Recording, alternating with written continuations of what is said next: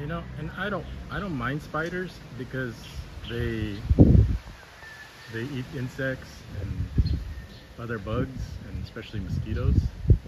But I don't like them when I run right into it with while I'm mowing the lawn over here and then like attach to my face and then implant like a xenomorph on my face.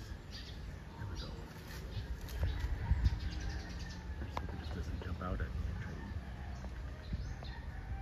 But yeah. Oh, there you go. Oh, there you go. That's a nice focus.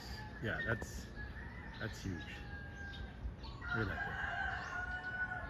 That's a big ass spider.